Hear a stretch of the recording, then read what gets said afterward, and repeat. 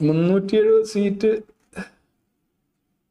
Numerically possible ആണ് എന്ന് എനിക്ക് തോന്നുന്നില്ല. കാരണം ഇപ്പോഴത്തെ അവസ്ഥ വെച്ച് അത് ഏറ്റവും കൂടുതൽ സീറ്റ് നേടിയിട്ടുള്ള രാജീവ് ഗാന്ധിയുടെ കാലഘട്ടത്തിലാണ് നാനൂറ്റി നാല് സീറ്റ്. പിന്നെ അത് ഇലക്ഷൻ ബൈ ഇലക്ഷനൊക്കെ കിടന്ന് നാനൂറ്റി പതിനാല് വരെയായി പക്ഷെ അത് രാഹുൽ ഗാന്ധിയുടെ ഒറിജിനൽ സ്ട്രെങ്ത് അല്ല.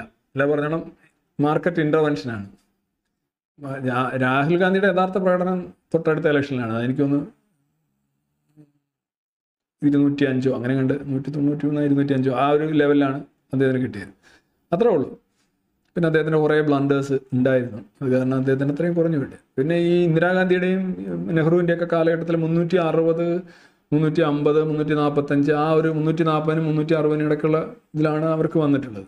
അവരാരും തന്നെ ഈ മുന്നൂറ്റി എഴുപതിലേക്ക് പക്ഷേ കോൺഗ്രസ് എന്ത്? അന്നത്തെ കാലഘട്ടത്തിൽ ഇന്ത്യയിലെ ഏറ്റവും വലിയ പാർട്ടിയാണ്. ഒരുപക്ഷെ ഇപ്പോഴും ഇന്ത്യയിലെ എല്ലാ സ്ഥലങ്ങളിലെ ഒരു പ്രാധാന്യം വെച്ച് നോക്കുകയാണെങ്കിൽ അല്ലെ ഒരു പേര് നോക്കുകയാണെന്നുണ്ടെങ്കിൽ കോൺഗ്രസ് തന്നെയാണ്. ആരും കോൺഗ്രസ് ഇവിടുത്തെ നാഷണൽ മൂവ്മെന്റ് ആയതെന്നുകൊണ്ടാണ് ചിലപ്പോൾ വോട്ട് കൂടുതൽ കിട്ടുന്ന ബി ജെ പിക്ക് ആയിരിക്കും എന്നാലും കോൺഗ്രസ് അതിന്റെ പ്രതാപകാലത്ത് ആയതുപോലെ ബി ജെ പി ഇപ്പോഴും ആയിട്ടില്ല. ഉറപ്പായിട്ടും.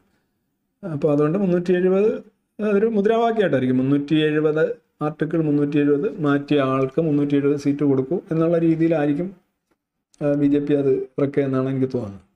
അതൊരു സ്ലോഗനിങ് എന്നാണ് തോന്നുന്നത്. മുന്നൂറ്റി മൂന്ന് സീറ്റാണ് അവർക്കുള്ളത്. I think I don't think that they പിന്നെ ബാക്കി പത്ത് നാനൂറ് സീറ്റ് മുന്നണിക്ക്. അപ്പം ബാക്കി സീറ്റ് എനിക്കൊന്നും സ്ലോഗനായിട്ട് കണ്ടാൽ മതി. അത്രയും സീറ്റൊന്നും കിട്ടാൻ സാധ്യത നിലവിലില്ല എന്ന് തന്നെയാണ് എനിക്ക് തോന്നുന്നത്.